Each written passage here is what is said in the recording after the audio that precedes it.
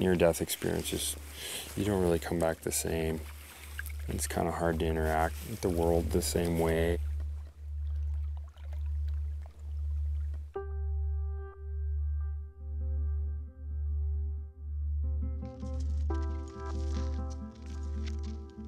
I make paintings outdoors. I make paintings in, in wild places, uh, specifically up at the top of the mountains on ridges and peaks in the winter, and uh, and on the lake shore, very untouched lake shore, and in the forest sometimes. Uh, so I'm I'm in pursuit of wild places and an intense outdoor experience for the content for my work.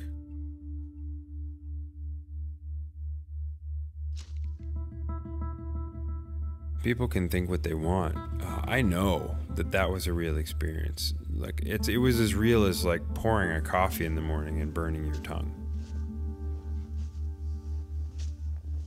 Three days later, I was in the studio, and I was kind of looking at a regular rectangular flat painting, and it just morphed right in front of my eyes. It morphed into this three-dimensional shape and I literally walked up to the canvas and unscrewed the stretcher and sliced off the, the canvas that was on it and rebuilt it and built the first shape. And uh, it was amazing. It was like this gift from the other side, a total gift.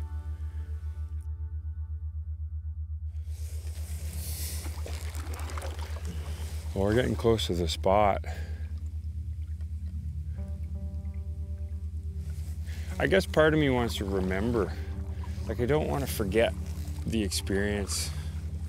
And then as I come here, I kind of remember more bits of it and like why it unfolded that way. And because it was pretty peaceful. Canoe painting is super exciting in the winter because it's so beautiful. And uh, the day I was out, day after Valentine's Day, was a big storm, lots of snow, big waves and I loved riding big waves in the canoe. It was super fun, and so I would just shoot for these, you know, big waves like that were that were tall, and I could get in in the trough and ride them out. It was just great fun, and I had a canvas on the on the canoe, and I'd ride some waves and then search for a place to come to shore and paint. I was working at uh, school, and I decided to walk home. It was fairly cold day, probably minus five. On the way home, I remember it being um, windy, maybe 10 knots that day, and it was a, a very high overcast. And I was out far, you know, out there. And the hugest, most perfect wave filled the canoe. And then I was just underwater and it was freezing within seconds. It was so cold. And hypothermia set in really quick. And um, basically, hypothermia kind of numbs you and puts you in kind of a dream state in a few different layers. So I just stopped thinking, just focused on my breathing, and and uh, there was eagles flying above me, two of them. And were circling up there, and on my out breaths, I yell for help to the eagles. And at the time, they were like my brothers. I felt as if they were kin, and I was calling to them as if they were family. And then they went off and found Barb and Dick. And as I was walking home, I kept hearing an eagle in the, in the distance, and it was shrieking. And um, the road, the highway up here winds around a bit, so you don't uh, I couldn't hear the sound all the time, but it kept coming back and coming back. And uh, when I finally arrived at home, which took me about 20 minutes, um, I walked in the door, and it was unusual enough so that I asked Barbara to come out and, and look at the eagle. He was low, and he'd been flying kind of through the front yard before Dick got home. And I was really surprised because it's unusual. And I kept swimming to shore, and I kept calling to the eagles. Yeah, and I was aiming for this point in this tree, and I realized at some point out there, like, could have been like 50 feet from shore, that I wasn't gonna make it. But I was really calm. It was just like peaceful, and and I had to let go, and I went and let go of my family and my daughter and my life and all the things that I had and also all the pain that I would create by leaving. I just I had to let that go. I couldn't hold on to that. And then I saw this tunnel down in the water made of light, this blue tunnel. And I was like, wow, that looks great. I'm swimming down there. And this huge, beautiful place where everything was, where all these beings were separate, but they were all the same. Like you could hear every being's thoughts. It was almost like a download of information and understanding about the nature of existence and the world. It just seemed to make complete sense. Like we all come to Earth here and we forget who we are and why we came back to to move forward and kind of just I don't know. It's hard to put into words, but there's a definite purpose and it makes complete sense on the other side after death, before birth. It all makes complete sense. And then you come here and we don't remember and we just get lost in our pursuits. Anyway, it was beautiful. And uh, I came out of it. I was there for a million years, you know. It felt like forever that I'd been there, and I felt myself sucking back up the tube. And I was like, I don't want to go back. This is way better than life on Earth. Then I was in the water swimming again.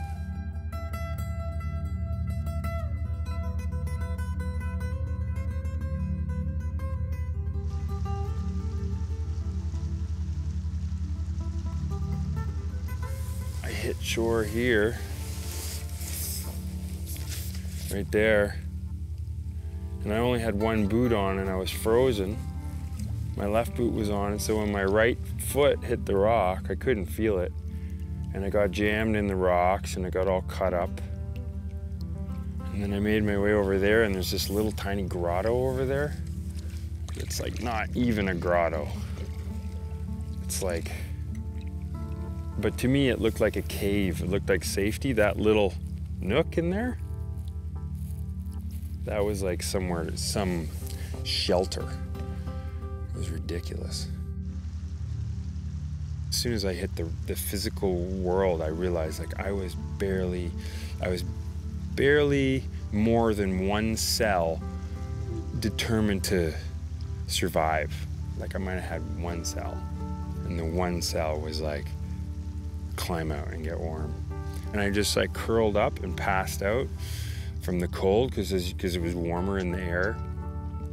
And when you're warming up, when you're really cold, it really, really, really hurts. And my whole body was in this warming pain, and I would scream, and I would pass out at the end of the scream. I remember just no air left, and I just pass out. And then I'd wake up and scream and pass out.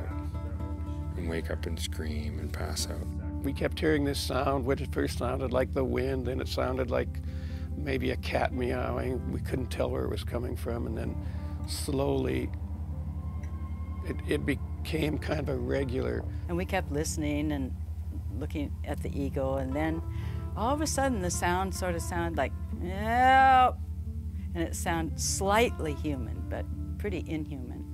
And we looked at each other and took another look and thought, wonder if that's somebody. Because nobody's down at the lake usually at that time of year in February. And then we heard it again. And so then we thought, well, we better go. So Barb came down and she she must have come off the path and like walked down here and I was standing, I guess, or I don't know. I must I think I was sitting and she saw me and she didn't know who I was, but we knew each other. And then he turned around and he looked up at me with this horrifying face, with these enormous eyes and this distorted mouth, and he just screamed. And I was scared. I thought it was a crazy man. And I thought, well, I'll go a few feet farther and I could still get away from him if he tried to chase me. And so I kept going down farther and farther, and then he turned around again. He had his head down between his knees, and then he turned around and looked at me again, but it was just this incredibly distorted look with this strange guttural sound and these enormous eyes. And I looked and I thought, oh my God, that's Jeremy. And uh, she got me to try and stand up and take off some of my frozen clothes because of course my layers of clothes were like frozen hard and uh, and she had a blanket. And she put the blanket around me. And then dick her husband brought down tea and those like warming packs kind of shake them and they warm you up.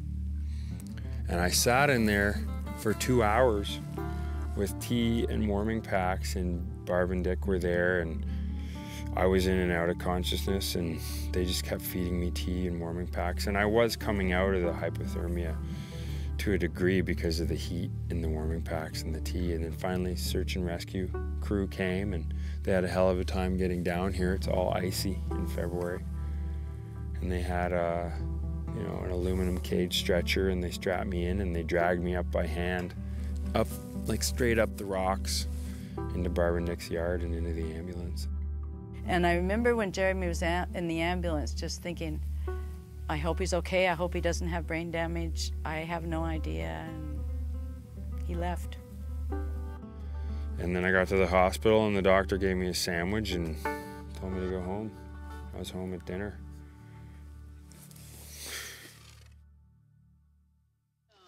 Good to see you.